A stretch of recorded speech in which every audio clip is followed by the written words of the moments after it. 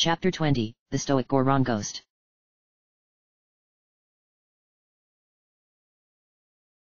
The Legend of Sunset Shimmer, Majora's Mask. By Ganondorf 8. August 8, 2016. Chapter 20, The Stoic Goron Ghost. Even though I knew that the smithies would allow us to get out of the cold and into the warmth, I was hesitant to go inside over who lived there. Someone inside clearly had a bad attitude given he told someone else to keep quiet, but it was the other voice that sent a chill down my spine. What kind of person or creature for that matter could make a noise that horrible, that putrid? My journey through Termina had already introduced me to characters that I had never seen before, but perhaps those encounters were nothing compared to what awaited in this region along with the other two. I shouldn't be surprised by this revelation. I had read the Hyrule Historia, why Rainbow Dash ordered it and never bothered to read it still escaped me and learned the unfortunate truth behind Termina's creation.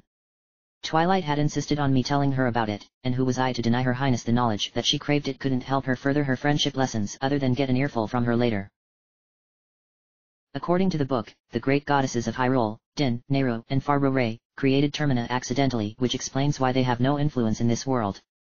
When the three created what became Hyrule, their power spread throughout the cosmos touching every last fabric of existence, yet their excess energy seeped into unseen cracks within the fabric giving birth to alternate realities. Termina, had never been intended to be created by the great goddesses. They didn't even know it existed and probably still don't and so they left it to fend for itself never once acknowledging its existence. It did explain then why no one around here knew about the Triforce or the rise of Ganondorf, or even the existence of the royal family of Hyrule. Because this world was never touched by the goddesses, the four giants assumed the mantle by swearing to act as guardians to protect Termina from evil. I couldn't even begin to imagine where they came from or why they were chosen, but perhaps someone knew of such legends. It may or may not be useful in getting everything back to normal, but sometimes such knowledge proved invaluable in case you needed to know about it. After waiting a couple of minutes in front of the door of the smithies, Twilight bopped me on the head several times urging me to do something. As a fairy, she didn't feel the effects of the cold air swirling about, but I wasn't as fortunate. Whoever designed this game clearly had no idea about how people trudge about in these conditions. I mean seriously, who walks around in a frozen wasteland wearing nothing but a green tunic? Maybe the actual hero could survive in these conditions, but I'm someone who prefers to wrap up accordingly to survive the winter months. Knowing that standing outside meant freezing to death I wish I had a Goron tunic I reached for the doorknob, turned it, opened the door, and walked inside before brushing off some loose snow on my body. The interior of the smithies wasn't surprising apart from a ridiculously large sword hanging on one of the walls. Whoever could wield a weapon that big must either be pretty strong or downright crazy for wasting their money acquiring it. To my left was a furnace that looked retro in design yet a chunk of ice was preventing it from working properly. To my right was someone laying down on a couch but I couldn't see their face from this position. All in all, it was pretty cozy aside from a couple of oddities here and there. Look at that furnace over there, Sunset. Twilight said. It certainly does look rustic. I said. You don't see many in that design back in Equestria these days. Oh? Have ponies achieved new advances in technology? I asked. Twilight rolled her eyes knowing full well that I had made a joke about how the world I call my home gained new technological marvels almost every other day while Equestria achieves something similar several times every couple of years. Sorry, please continue. Back home, ponies have been using more modern designs that consume less fuel but can produce the same quality. Yet this furnace isn't working. Let me take a closer look. Twilight suggested, floating in front of me to inspect the ice. She looked at it from different angles for a few moments before floating back over with her head held down low. That ice doesn't look like it will melt anytime soon. I mean, it can be melted but I don't think you have the means to melt it right now. What would I need? A simple magic spell could easily get rid of the ice, but then we're in a world where equestrian magic doesn't work, and you haven't acquired any new magic. No, I think this will require the direct approach. Twilight answered. And that would be hot water. Can't get any more direct than that. I said sarcastically. The only question is where can we find hot water in such frigid conditions? I doubt the smithy has any otherwise they would have melted the ice by now, but if we ask them some questions, we might get some answers and quite possibly help them out. I'm sure they would appreciate you doing that for. Twilight said before suddenly going deathly silent as though something had freaked her out. Twilight, Are you okay? I asked, waving my hand in front of her. There was no reaction. I then saw the expression on her face, stone silent and staring dead ahead. I then looked in the same direction and my entire body froze. There was a counter at the other end of the room, but it was who was standing on the other side of it that froze me to the core. A large bare-chested muscular figure wearing something on his face that resembled a mask it looked more like leather straps bound across his face reinforced with small nails and covered the right side of said face and nothing but a ragged pair of shorts, but it was the large horns protruding on either side of his head combined with the red skin that was an instant giveaway. Twilight was shocked over seeing the one person who almost brought Equestria to its knees, yet I was shocked that this is what he had been reduced to. Tirek! Twilight exclaimed. Sure enough, the large hulking figure was none other than Tirek, who had portrayed Ganondorf himself in my previous journey. It definitely felt weird seeing him here of all places and wearing nothing but ragged shorts, but Termina had proven to be filled with all kinds of surprises. In Tirek's hand was a large hammer that was most likely used to forge metal due to the nature of this business, yet the weirdest thing was that he just stood there like he was staring into thin air. What in the world is he doing here? Wasn't he banished or something, Sunset? He was but I guess this is a different version of him. I think it's obvious that he was the one who made that noise when you were standing outside. It just feels so weird seeing Tirek reduced to this. You never saw what he did to Equestria, did you? Twilight asked. I shook my head. I had only ever heard about what he did when Her Highness and I first started sending messages back and forth to each other upon finally accepting each other as friends and her personally as my teacher. I know that I only gave you vague hints at what Tirek did to your fellow ponies, but my aim involved protecting you in case you decided to get revenge or something. Tirek drained the magic from every pony in a bid for power but he was undone when we unlocked the Chest of Harmony and released the Rainbow Power. Rainbow Power? Did you seriously call it that? I asked. Her Highness had told me that she and the pony, versions of my friends gained ridiculously long manes as well as their cutie marks appearing on their hooves. I just couldn't grasp the fact that she experienced such an extreme transformation. It's a power we've only used once and hoping never again anytime soon. By the way, who do you suppose was telling Tirek to keep quiet? Maybe that guy sleeping on the couch over there. Twilight asked. I slapped my forehead knowing that I walked into that one. I took a few steps forward so that I could get a better look at who had been talking to Tirek, and I wasn't nearly as surprised as her highness was her jaw dropped when she saw who the other smithy was, but I felt it was an improvement over what I saw from him last time. Sleeping on the couch was Fancy Pants, and while he certainly looked less than glamorous he was wearing a blue-colored vest over his bare chest, blue pants, a strange white-colored hat, and sandals he seemed to be struggling with his sleep. Every few seconds came the sound of mumbling from his mouth and what he said was consistent, he spoke of his business being on the verge of ruin because of the weather being a huge problem. I never met his equestrian counterpart so I always assumed Fancy Pants to be a business pony, who pretended he was a high-ranking societal member. Her Highness quickly whispered in my ear that Fancy Pants was the most famous pony, in Canterlot barring the princesses and was on top of every important social gathering. If I had known that from my previous encounter with him, I would have treated him in a much different manner. Still, the fact that he was here with Tirek didn't make much sense, but there was no use in trying to come to any logical conclusions. The two of them were living together as smithies although Tirek appeared to be behaving as such what with that hammer in his hand while Fancy Pants was just lazy in demeanor. So he's one of the Canterlot elite? Rarity can't stop talking about him every time we pay a visit there. It must be weird for you seeing fancy pants like this. A little, but Rarity would have gone through one of her overdramatic moments were she to have seen him in such clothes. Twilight said. I couldn't help but chuckle at such a thought, but I made sure not to laugh too loud in case I disturbed his sleep. I am surprised at what he's mumbling about. Oh, about his business suffering. The cold conditions must be a lot worse than we thought. Do you suppose Starlight had something to do with this? Maybe, but it's too soon to say. This weather might actually be a normal occurrence around here or the mountains are experiencing a rare freak storm. Guess that means you'll need to ask either Fancy Pants or Tirek about what's been going on around here. If you want my opinion, I'd talk to Fancy Pants as Tirek kind of looks like he might not have much to say given his mouth is covered up by whatever it is he's wearing. Twilight answered, floating towards the couch indicating that I should follow her lead. A part of me wanted to talk to Tirek given my past struggles against him in Hyrule, but Fancy Pants did seem to be the obvious choice. I walked over to the couch and coughed a few times to grab his attention, but he remained fast asleep leaving feeling dejected. That didn't work. He must be a heavy sleeper. Guess I've got no choice but to talk to Tirek. I said, prompting Twilight to hide underneath my hat. I looked up slightly where Tirek was standing, and he continued staring off at nothing while clutching his hammer. He was different in this world so I knew that I was safe, so I walked up to the counter before coughing to grab his attention. At first, Tirek ignored my coughing but then he quickly looked down upon noticing my shadow. The instant he saw me, he started swinging his arms around including the one with the hammer and I ducked down so that I wouldn't have my head lobbed off. Ugok.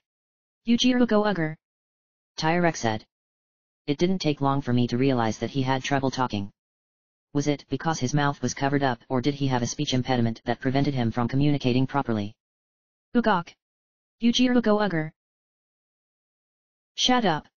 I quickly turned my attention towards the couch, and saw that Fancy Pants was staring back at me, hands on his hips, an angry look spread across his face. I was certain he was about to snap at me, but he instead looked at Tirek, his finger pointing directly at him. How many times have I told you to never do that? What is it about not making any noise while I'm sleeping that doesn't resonate with you? Bah. And just when I was finally starting to have a good dream. Ugok. Yujiro go ugger. I said. Hey. You say that we have a customer? Are you serious? Who in their right mind would come here during this cold snap? Fancy Pants asked. That's when he noticed me standing to the left of Tirek resulting in him blinking several times before rubbing his eyes. A customer? Well I'll be. I'm surprised you were able to make your way here, what with that blasted snow causing problems for everyone. It wasn't easy to get here. I said. I should say, so seeing as you're wearing that get-up. You must be either brave or stupid for walking around in that anywhere, but that's just my opinion, kid. Anyway, welcome to the Mountain Smithy, where we take our time to make a good point. That's the slogan we've been using for the last few years. Fancy Pants said. I'm Sunset Shimmer. Odd name, but then I've heard weirder. I'm Zubora, the owner of this fine establishment. You go oh. You go you go. Tirek said. Shut up over there. She. When I say you can talk, that's when you can speak whatever gibberish you want. Until then, just keep quiet unless you really have something important to say. I am so sorry for that sudden outburst from him. That huge fellow is my assistant, Gabora. He's all brawn and about as smart as a Deku stick. When it comes to forging weapons, he is a natural, but his social skills aren't up to snuff. Fancy Pants said. I was wondering if you had any information. I said. Information? Usually, when people come here mainly Gorons they ask us to forge them new weapons. I'm not particularly choosy, but I want to know what's been going on around here. You're not the only one. Ugok. You go oh. Tirek said. Even Gabora, what with his limited intellect, is curious about the sudden cold snap. You see, kid, it never used to be like this. Snowhead has always been known for its cold winters. The Gorons like it a lot better than we do, but this winter has been absolutely terrible to the point where all life is on the verge of extinction. Don't ask me why things have gotten like this as I don't know. You might have better luck asking the Gorons. Fancy Pants said. I had hoped he would have given me more information, but I supposed what he said was better than not getting anything at all. I had suspected the Gorons would know more about what was going on, but then I didn't exactly know where to find them. Unlike Death Mountain that had one main path that lead up to their city, Snowhead had numerous paths that lead in different directions. There was no telling which direction would lead me to the Gorons. My only other option involved speaking with Pinkie Pie in hopes she knew something, but like the Gorons, I didn't know where to find her. Looking back at Fancy Pants again, he appeared to be checking a watch on his wrist in between looking at me and Tirek.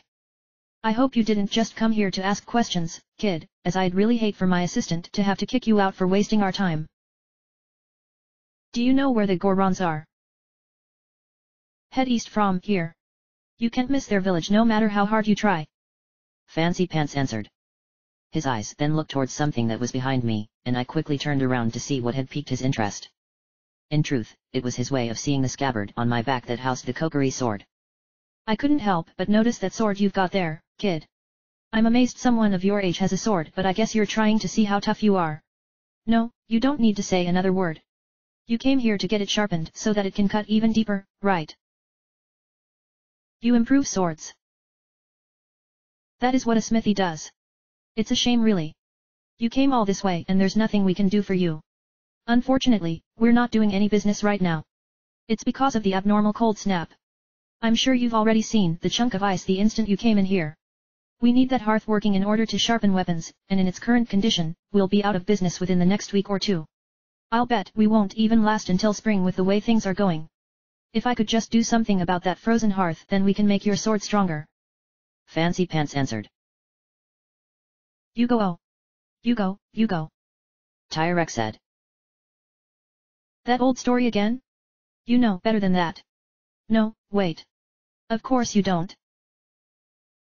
What did he say? I asked.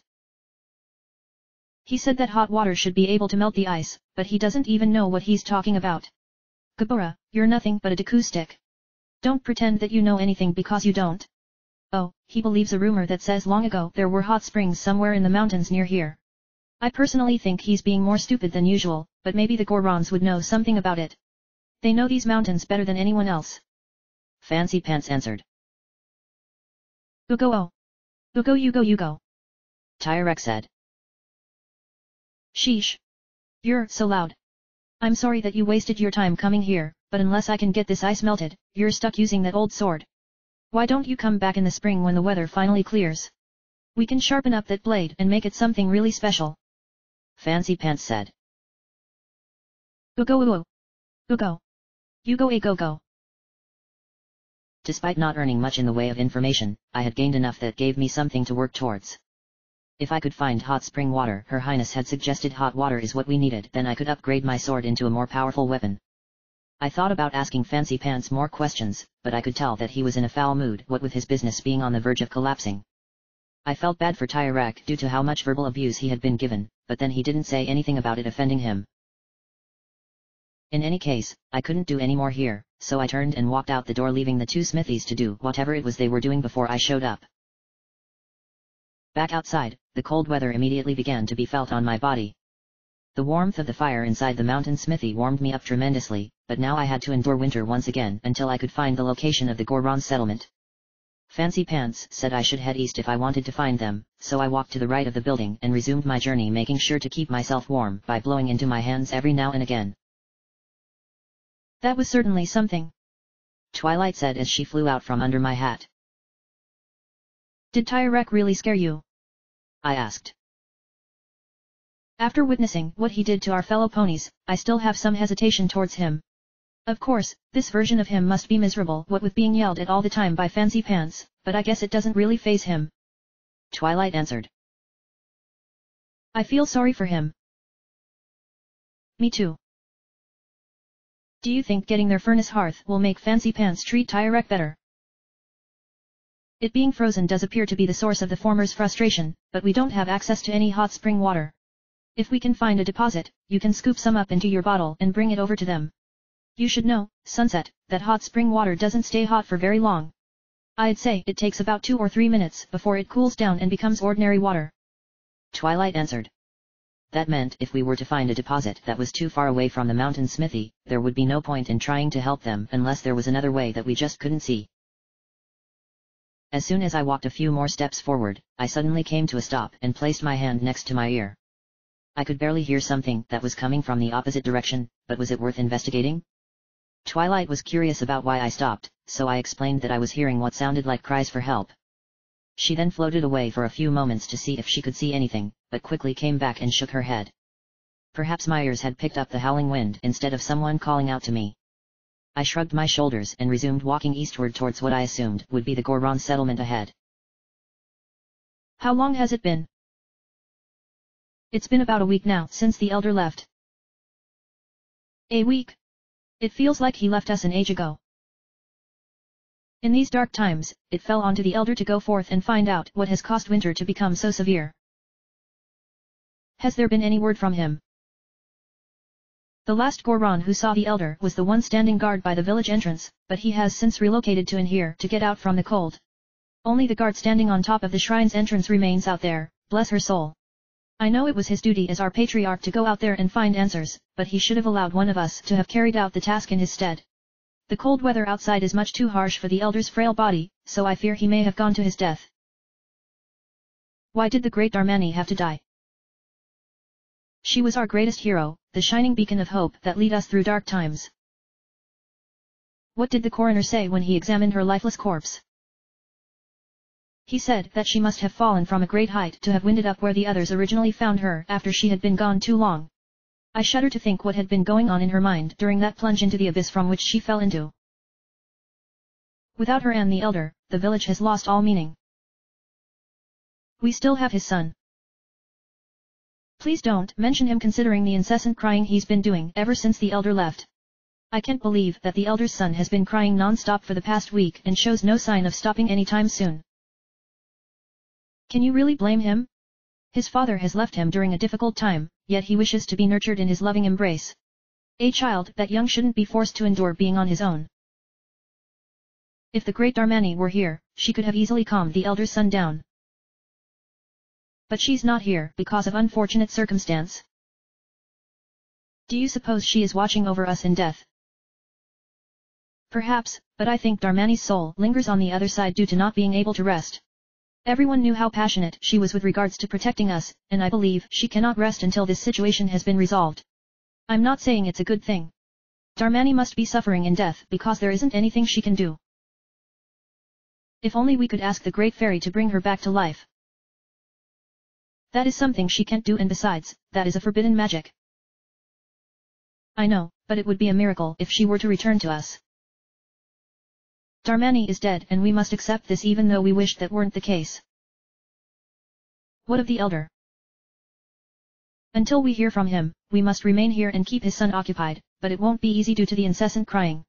Yes, even I am starting to grow weary of the noise that comes forth from his mouth. If miracles truly exist then this would be the ideal time for one to happen. By the way, have you seen that strange human riding the giant bird? That stranger who is waiting near the abyss.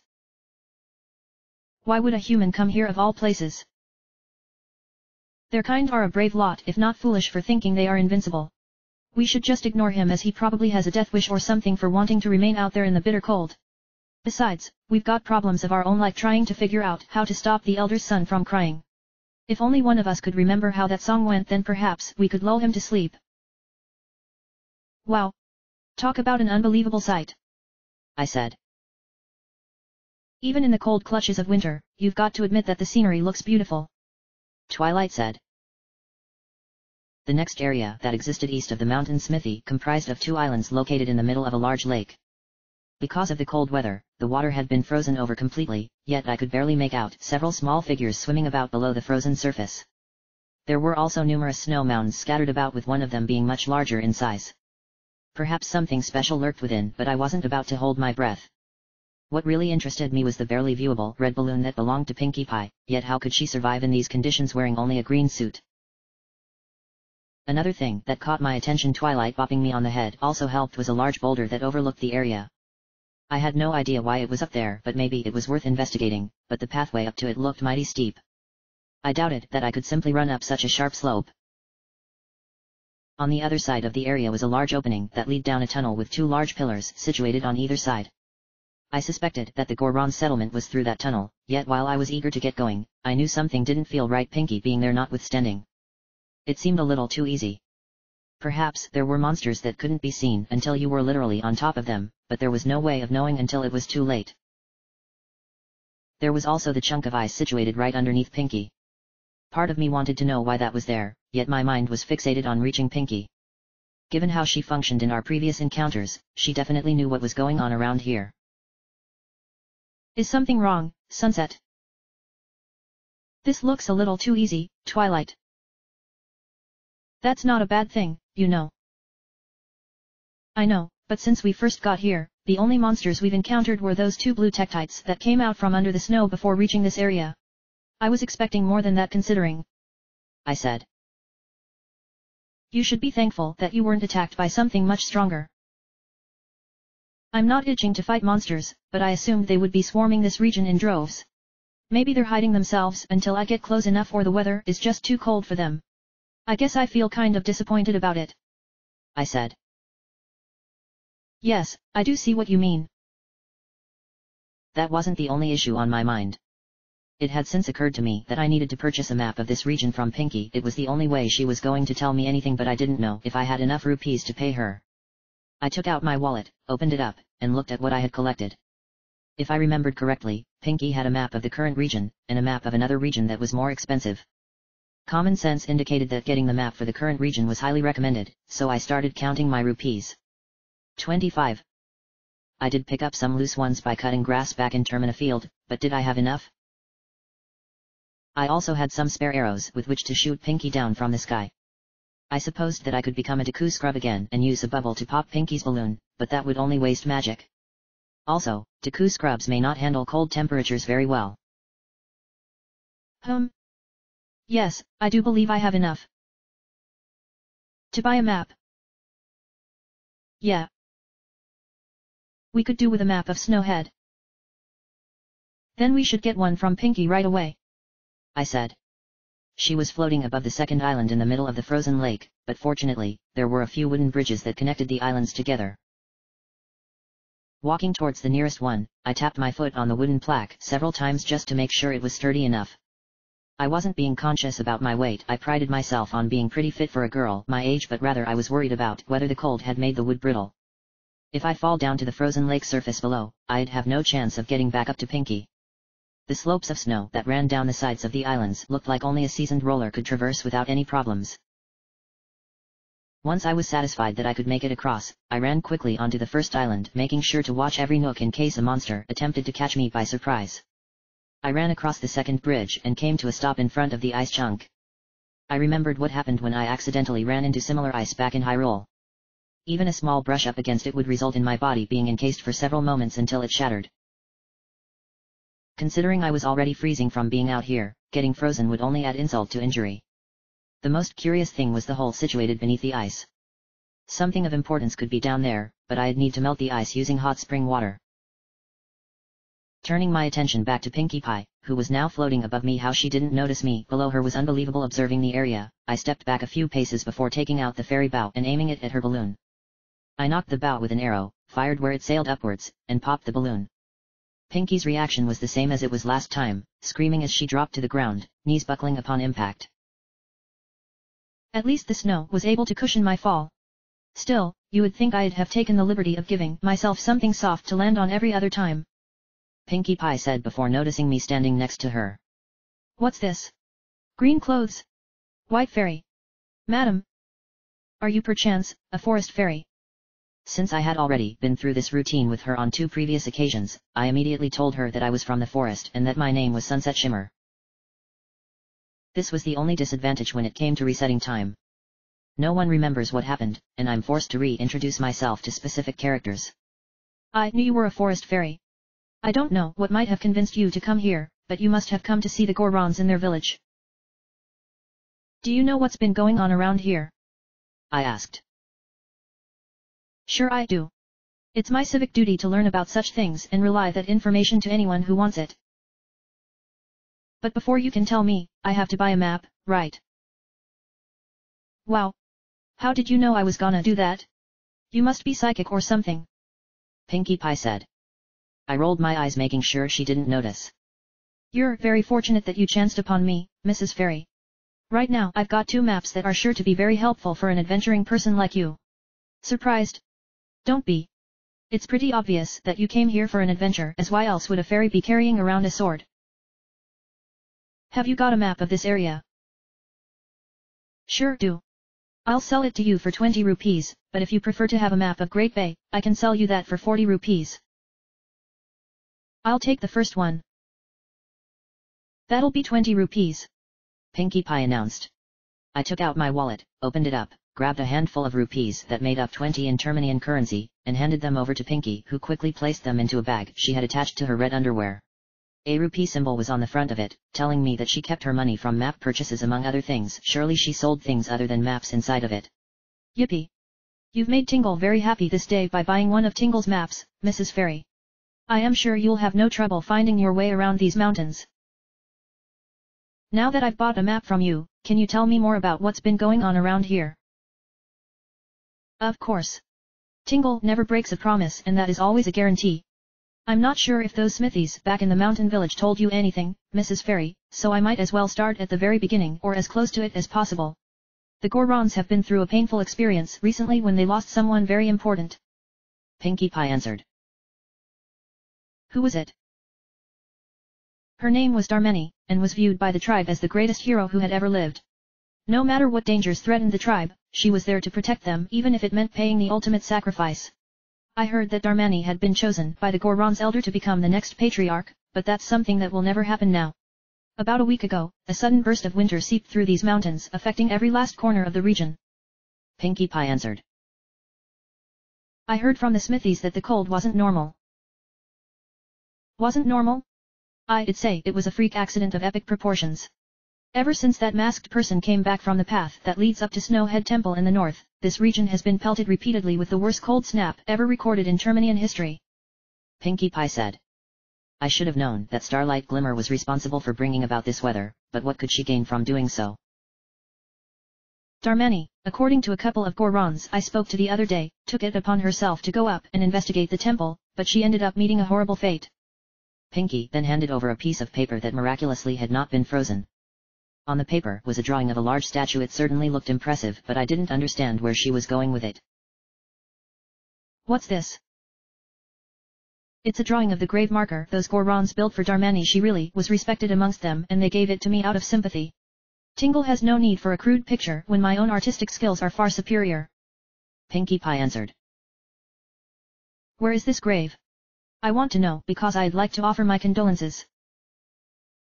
They buried Darmani on top of a high mountain, but the path can no longer be accessed due to the snow covering up the entrance.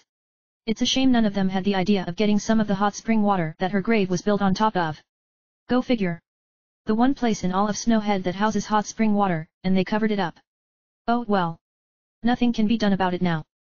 Pinkie Pie said. The instant she mentioned hot spring water, an idea began to form in my head. Twilight, who had been listening to the conversation, must have been thinking the same thing. I had to get to that grave site, even if it meant climbing up the mountain. You know, I don't know what became of those Gorons. They were supposed to have returned home days ago, but they're still out there. What about the Goron Elder? Him? I saw him walking down there on the frozen lake, but that was the other day. I don't know where he is now, but I'm assuming that he was able to make it to the temple okay, maybe not considering how slow he moves. Pinkie Pie answered. Maybe I ought to go to their settlement and find out more. Goron village? That's through the tunnel you see before us. Then that's where I'm going next. I should mention one little warning, Mrs. Fairy. The Gorons may not be willing to talk to you due to a lack of sleep. I know it sounds like Tingle is crazy, but I heard this from a reliable source who happens to be a Goron. Their sleep deprivation is the result of the elder son crying. He's been at it for at least several days now and shows no sign of stopping. I'm amazed they've held out so long, but you're likely to get a cold welcome until they can get some sleep. Pinkie Pie said. How could a parent leave behind their child? The elder didn't want to do it, but he had no other choice. Darmani was their best hope of stopping this cold snap, but she's dead now and it fell onto him to do something. I don't know how much longer they can hold out. Anyway, that's all the information I have, Mrs. Fairy. Thank you for purchasing one of Tingle's maps. Please come by again if you wish to buy another. Tingle Tingle Kooloo-Limpah. These are the magic words that Tingle created herself. Don't steal them. Pinkie Pie answered. She then spread her legs apart, clenched her fists, and produced a flurry of confetti before another red balloon appeared from the backpack on her back, lifting her up into the air. Pinkie Pie had given me a lot of information this time around, but it sadly revolved around the passing of an important person. Whoever this Darmani was, she must have been a very powerful Goron to have commanded so much respect from her people. Perhaps if I had come here sooner, I could have done something to prevent her death. No, it happened before I arrived in Termina, so her death was predestined to occur. I then looked up at the sky to clear my mind. Despite not seeing the clear blue skies I was glad that the snow prevented me from seeing the moon. I wondered if Darmani could see what was happening. I'd hate to think that she was being tormented in the afterlife because of not being able to do anything to save her people. It was now starting to become apparent that Termina was a world embroiled with death overlooking everything, waiting for the perfect opportunity to strike down anyone it feels deserves to die for one reason or another. The Deku butlers Mrs. Cheerilee Sun, Kamaro Zephyr Breeze and now Darmani. Three lives had been lost yet I suspected there were many more out there waiting for me to find out about them. Twilight then bopped me on the head again. Was this going to be her means of getting my attention reminding me that we needed to keep going? Just because the village was a short distance away didn't mean that I could take my time. I still only had 72 hours to prevent the moon from destroying Termina. Much like the previous bridges, the last one was just as sturdy, so I walked across and into the tunnel that turned out to be a lot shorter than I was expecting. Upon exiting the tunnel, Twilight and I were shocked at what we were looking at. Goron village looked like it extended forever what with how big it was, and how the far end consisted of nothing but a blank void of space. The snow did limit my vision, so perhaps I couldn't see everything. So the Gorons live here? Twilight asked. This place is far more spacious than Goron City was. I answered. Am I to assume that you're talking about a location in Hyrule? Yeah. Goron City featured narrow passageways that went in all kinds of directions. I don't know how the Gorons were able to live in such cramped quarters, but they never once complained about it. Seeing how big this village is really shows just how different both words truly are. I answered. Just make sure not to fall down on the ice. No need to tell me that. I said. The thought of falling down on my rear because of the ice was the last thing on my mind. What was on my mind involved feeling sorry for someone I didn't even know. Darmani was taken away from her people and that has had a negative effect on them did it was a reflection of how life itself was short, and so we have to make do with how much of it we get before moving on to the next life. Just thinking about such thoughts sent shivers down my back. I don't see anyone around. They might be inside somewhere. It makes sense that they would prefer to stay inside where it's warm. I'm sure we'll find a Goron if we look hard enough. I said. It actually didn't take as long as I initially thought I guessed several minutes and it was several seconds as standing a few hundred meters away on the other side of a narrow walkway was a Goron. I couldn't tell if it was a male or female Goron, but they were wearing a helmet along with a breastplate that didn't appear to fit on their body very well. When I saw their kind before, they resembled humans who wore clothing that was Amazonian in nature. Now I was seeing them for what they really were, creatures that looked like rocks. Since the walkway was made of ice, I had no intention of using it in case I were to slip and drop down to the floor below. Luckily, there was a wooden bridge nearby that went around a longer path, but I preferred it instead of the more dangerous path. The Goron hadn't noticed my presence so they continued standing more like shivering so I walked over to the bridge and across making sure to keep an eye on them. Twilight had no qualms over me wanting to use an easier path as she didn't like the thought of me falling down. Upon getting to the other side and walking up to the Goron, they turned to face me and I could see that they had been outside in the cold for quite some time. Having pieces of ice hanging on your facial features was a pretty good indicator. My mouth then dropped upon recognizing who was standing before me. It was Diamond Tiara. Her Highness once told me that her equestrian counterpart had since become much nicer, yet that might not be true with this version. Hey?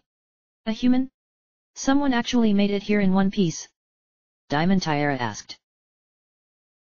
The cold weather didn't do me any, I answered, but was quickly cut off when Twilight bopped me on the head. I was annoyed at how she interrupted my conversation, but the look on her face made me feel concerned. Sunset? Do you mind if I take this one? Twilight asked. I'm not sure if she would want to talk to a fairy. Maybe, but I'd like to talk to a character for a change instead of you. I know you're the hero of this adventure, but I'd like to contribute in ways that don't involve me simply giving you advice and pointing out the obvious. Twilight said. I never knew Her Highness felt so passionate about it. I supposed it was something I never really considered before, and for that I felt guilty about not giving her a chance to express her desires. There was no way I was going to deny her what she wanted, so I stepped aside with a wave of my hand. I know this is awkward, Sunset, but I appreciate you giving me this opportunity. Just do what you usually do. If you mean a lecture, I think a more direct approach is in order. Twilight said as she floated in front of me before stopping inches from Diamond Tiara's face. Excuse me, but I hope it's okay for me to talk to you. Oh. Hey, fairy. I haven't seen one of your kind around here before. Usually, you're up there with the rest of your friends at the Great Fairy's Fountain, but I can accept you wanting to get away from there considering the temple has been nothing but a major pain for us Gorons. Diamond Tiara said. I was wondering if you could answer a few questions. Make it quick, okay? The weather around here continues getting worse, and while I'd love nothing more than to inside where it's a bit warmer, I have to stay out here as the guard of the Goron Shrine until my relief replaces me. Diamond Tiara answered. My friend and I have heard about the passing of one of your own. You mean, Darmani? Yes. We also heard that she was buried somewhere in these mountains. Do you know where exactly? Well, that's something we Gorons wouldn't normally share with outsiders, but your kind do live on this mountain as well, so I guess it's okay for me to tell you. The burial site for the Great Darmani is located in the mountain village, but the pathway is no longer accessible. Unless you were to climb up to reach her grave, I'm afraid you've got no reason for going up there. I wish that I could have gone up there to give her a burial worthy of her greatness even though she was stoic in personality. Diamond Tiara answered.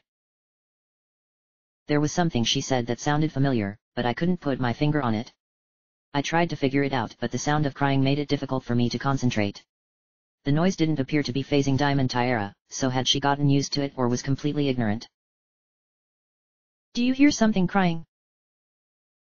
I was hoping you wouldn't have noticed, but then the elder's son is known for having a loud wailing voice.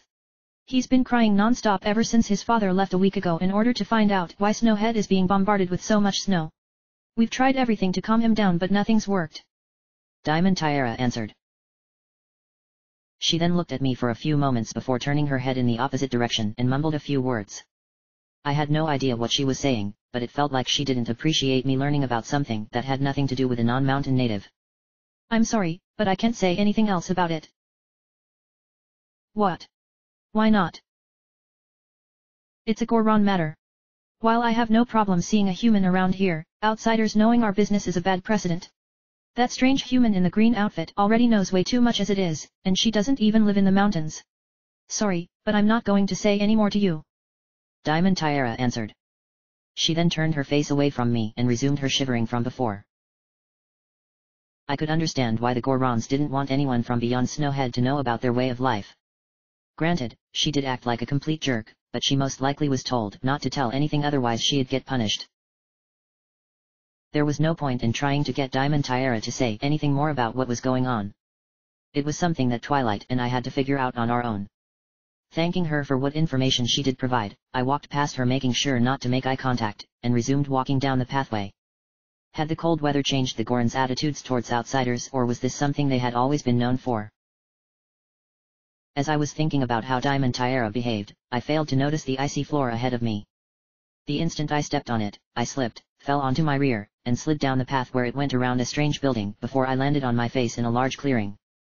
Climbing back onto my feet and brushing off loose ice chunks, I began to look around to see if I could find a way back up. Ahead of me was an endless chasm with an island situated quite the ways away. How was anyone supposed to get over there without wings? Also, why weren't there guardrails to prevent someone from plunging off? You would think the Gorons would be more inclined to keep themselves from dying. I can't believe how rude Diamond Tiara was. It didn't bother me all that much, Twilight. I got used to people treating me badly, especially after the fall formal when I was exposed as the monster I was. I said. Sunset. I'm better now than I was before, yet there are times when I look bad on what I did, and wish that I could have done things differently. I said. That's when I noticed something really odd and stepped forward in order to confirm my suspicions. There was a shadow in the middle of the clearing near a wall, yet what was even casting it? Nothing within the immediate vicinity was producing a shadow, and Her Highness and I had our own underneath us. What's this doing here? I inched slightly closer and sensed some kind of presence hanging above the shadow, but maybe the cold had really gotten to me. A shadow without anything attached to it. Is it danger? I don't know what it is. Sometimes the most mysterious thing can turn out to be the most obvious. Wah! I shouted. I looked around upon hearing Flash Sentry's voice in hopes of figuring out where he was. It took me a few moments to figure out that his owl was perched on top of a tall pillar with him sitting on the saddle. Even when I try hard not to freak out whenever I encounter him, my efforts prove to be in vain. Flash always caught me by surprise even when it wasn't intentional. Once I regained my composure, I folded my arms and gave Flash a stern look. My apologies for surprising you. Flash Sentry said. I really wish you wouldn't keep doing that. This is only our second encounter, fairy child, but again, I apologize for making you uneasy. In any case, it is fortunate that we have met again. Have my stone statues been of help to you on your journey? The more of them you have activated by striking with a blade, the larger your horizons shall become. Flash Sentry said. It has made traveling around Termina much easier. To soar through the skies like a bird is truly an honorable experience. Flash Sentry said. His owl companion suddenly thrust its head forward to get a closer look at me. I backed away several steps in case it tried to attack me, but then it started tilting its head left and right before turning it upside down. I knew owls were capable of doing that, yet it felt really creepy, especially because it was much bigger than normal owls. Flash noticed his companion glaring at me and whispered something that caused it to pull its head back. My owl was merely observing you, but perhaps his gesture was more towards intimidation? In any case, it seems you may have the strength to change the fate of this land as I had expected. You doubted me. Many claim they can change fate, but only the strongest of heart can do so. I must warn you, fairy child. The road ahead is even more challenging. Many trials await you that shall test your limits, yet they must be overcome. Please watch over these Gorons around you. Their land is doomed to be smothered in snow and ice forever. Should the evil that pervades these mountains continues to thrive, it will become a land where no living thing can survive. Without courage and determination, you surely will collapse from the extreme conditions, and become a forgotten relic. But if that courage and determination burns bright within you, then that's another story. Flash Sentry answered. He certainly had a lot of expectations about me, but some of his words felt like they were insulting my abilities. I know that I had struggled in the early going of this journey, what with trying to get used to using items that I had never used in everyday life, yet couldn't he have been a bit more sympathetic in some regards? Even though this was Flash Sentry, the guy who still had a crush on Twilight, I had to remember that he was portraying a different character. Speaking of Her Highness, I wondered what was going through her mind right now. I knew she still harbored some romantic feelings towards Flash, but then she hadn't seen him in person for quite some time. Did she still have those feelings or had she moved on? It was something I couldn't just ask her to confirm.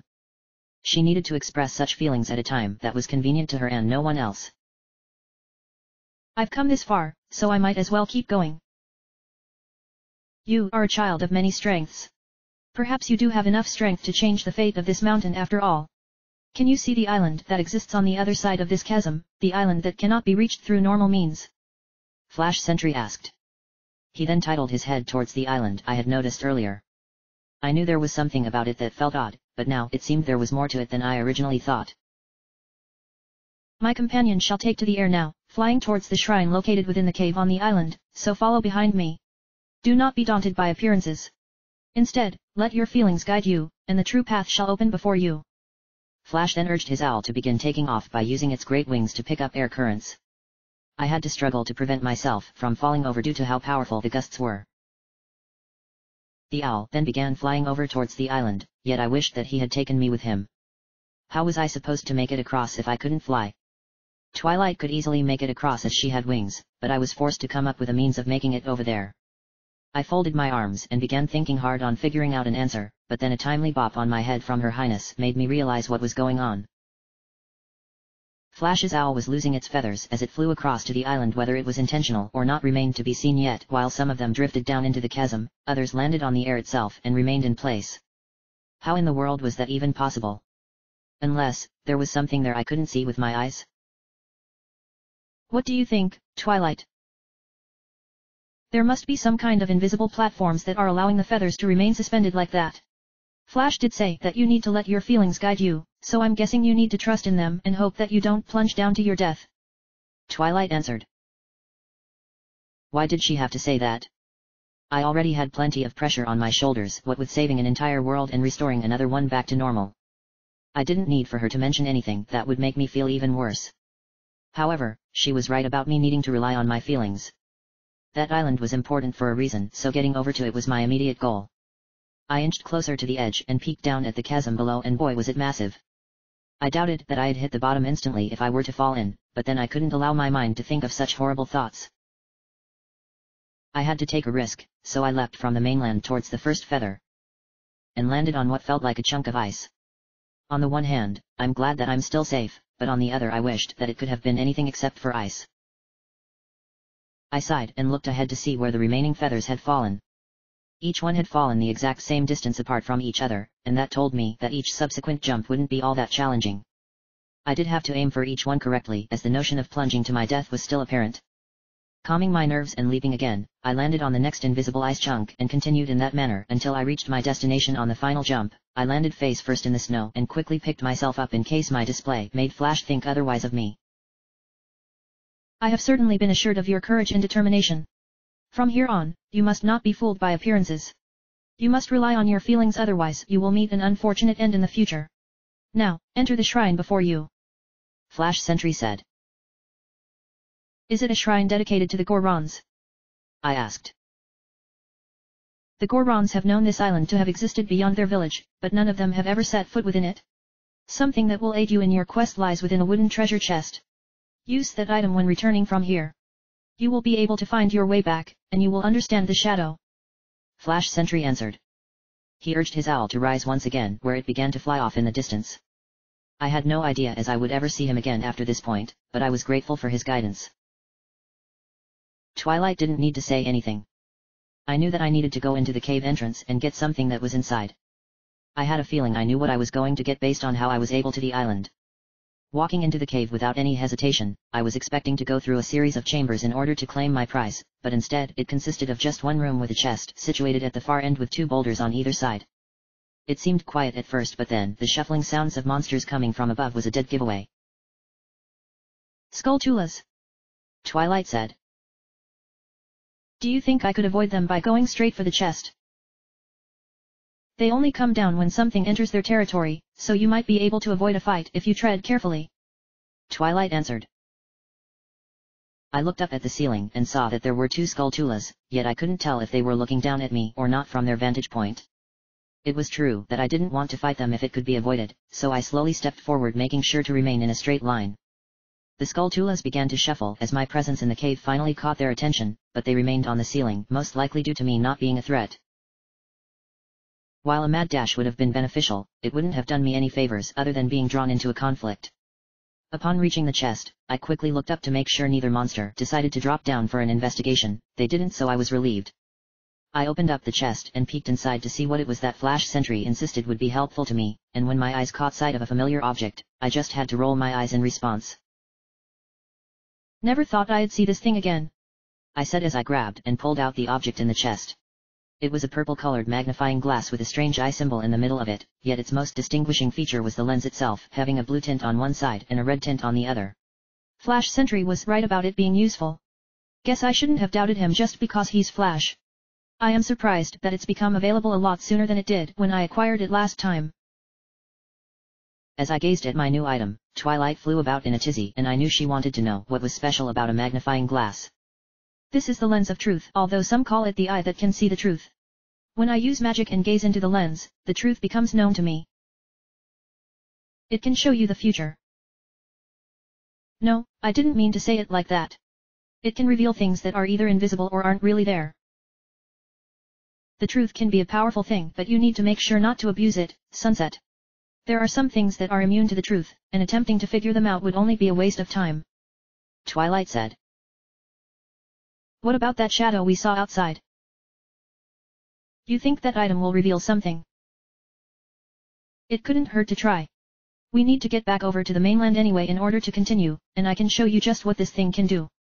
The magic I gained from a dojo will enable me to see the truth, but I can't use it too much or else my magic will be drained. I answered. Walking back outside running would have brought those skulltulas down on me from above the feathers that dropped from Flash's owl were no longer there, but I raised the lens of truth to my eye and looked forward. Come and take a look for yourself, Twilight. You can see what I used to make my way across initially. Twilight floated down in front of my face and peeked through the lens to see the ice chunks. How they were floating in thin air was a question neither of us could answer, but she was amazed at how something so simple could show so much. Now this quite the fascinating magic. I knew you would be impressed. Magic like this doesn't exist in Equestria, but if it does then it's a kind that almost no pony uses. It might have been a Star Swirl the Bearded thing. If anyone in Equestria could use magic like this, it would be him because after all he, Twilight said before cutting herself off. Her eyes opened wide in horror followed by her jaw drop that prompted me to check to see if she was alright. Sunset. I... I... I can someone or something standing on the mainland over there. I thought she might have gotten a little intoxicated from witnessing such a magical display, but when I looked through the lens to see for myself, I almost dropped it. See? I told you there was something over there, but I can't make out what it is. Well, I was going to show how the lens of truth works, and now's a really good time. I said. Without a second thought, I began jumping across the ice chunks. They were actually small platforms making sure to keep looking into the lens so that I didn't accidentally jump into the chasm. I only had one life instead of multiple lives. While it looked like I was making it look easy, I was having a mental nervous breakdown. Upon getting back to the mainland, I dropped down onto my knees and began kissing the snow as that horrible ordeal had come to an end. Glad that's over. You didn't need to kiss the snow. Be in my shoes and you'll understand. Fair enough. Now, what about the strange person we saw while peering through the lens? Twilight asked. I had almost completely forgotten about that. Gripping the lens firmly in my hand, I looked through it to see who or what was making that shadow, and this time I dropped it upon seeing who was standing there. Twilight was surprised at my sudden reaction and started bopping me on the head. Sunset. Sunset. Are you alright? You look like you've seen a ghost. You've got no idea how right you are. What do you mean? Twilight asked. She then hovered down to my face and looked through the lens of truth before rubbing her eyes. No, this is impossible. How could that have happened to her? Sunset. What in the wide world of Equestria is going on here? I had no answer to give her. How could I? What I was seeing was impossible in my opinion, yet there was no trying to deny that we were seeing the ghost of someone who was very familiar to us. Standing floating actually with her usual blank stoic expression was Maud Pie, yet I knew straight away she was different from before. She had a large gaping wound across her chest and aside from wearing a bra and ragged shorts, she wasn't wearing anything else. Unlike other Gorons who were brown in color, Maud was grey and transparent. How did she get that wound? More importantly, how did she die? What was I going to say to Pinkie? The only way to know for certain was to ask and hope that she would respond. Hello there. I said. Maud didn't respond, but that was because I didn't use the lens of truth to properly see her. Raising it to my eye, I could see her again it was actually difficult for me to look at her in her current condition and she simply floated there without any emotions on her face. Hello. Hello. I was wondering when you were going to take notice of me. Maud Pie said. It's kind of hard to do that since you're a ghost and all. I have been watching you for the last few minutes going over to that island and back again. That doesn't sound creepy at all. The one who was riding on top of the large bird told me that I had to wait here for the one who would help me to come. He said the one I needed would have the power to see spirits through eyes that can see the truth. It feels like I've been waiting forever, so I am glad that you... Pie said. Flash Sentry told you to wait out here in the cold. I do not know who this Flash Sentry is that you talk about, but the cold weather that spreads across my village no longer affects me. After all, I no longer can feel anything since my body passed away some time ago. Maud Pie said. I clenched my teeth upon realizing I said something that offended her. Either she didn't take notice of it or did and was really good at remaining calm. You are the first person to have seen me for quite a while now. I had been waving my hands around hoping anyone would see, but they were not able to gaze upon one who no longer lives amongst them. She then floated a few paces and I managed to get a better look at the wound on her body. Whatever did that must have been incredibly powerful, but then why would she want to fight anything bigger than her? You are looking at my wound. I'm sorry if it makes you uncomfortable. No. It's alright. I received it when I was protecting my village from a rampaging Dodongo many years ago. The wound never properly healed and became scarred. I like to think it reminds me of when my people turned to me in their time of need. Maud Pie said. The wound itself looked like it may have reached down to the bone, but I was afraid of asking in case she changed her mind and took offense. I'm sorry but I ended up going off topic. I would like to focus on what is really important. Oh? And what would that be? Since you can see me with strange magical powers, you may be the one who can help me. What do you want me to do? Not here. Hey. I wish for you to help me in the proper location. Please follow me to the place where I was buried by my people. You have the ability to see me, so you should be able to keep up with me as we travel through Snowhead. Maud Pie answered. Was she being serious right now? She wanted me to follow her to her grave? Why not simply ask me to help her here and now rather than drag across the entire region? Before I could respond accordingly, Maud turned to her left and began floating away. Standing there like a statue won't do either of us any favors, so please follow me and try to keep up as best you can. This had become a real dilemma. Should I follow Maud Pie to her grave or should I stand my ground and insist that I help her here in the village? End of chapter.